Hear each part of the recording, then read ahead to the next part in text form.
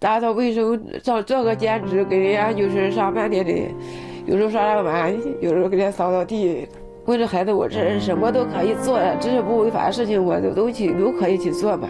现在直到现在还没有消息，就是从那天起，连什么消息没有。现在吧，他一直在在这个学校，我们住在就是楼梯间嘛，就是主要楼那一个楼梯间，住在那里。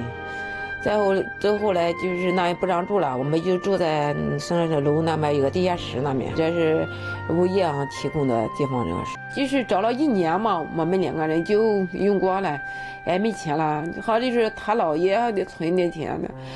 我们该说姥姥已经走了，不该花那个钱，可是为了孩子吧，也把那个钱花了，也就是再寻找，寻找没。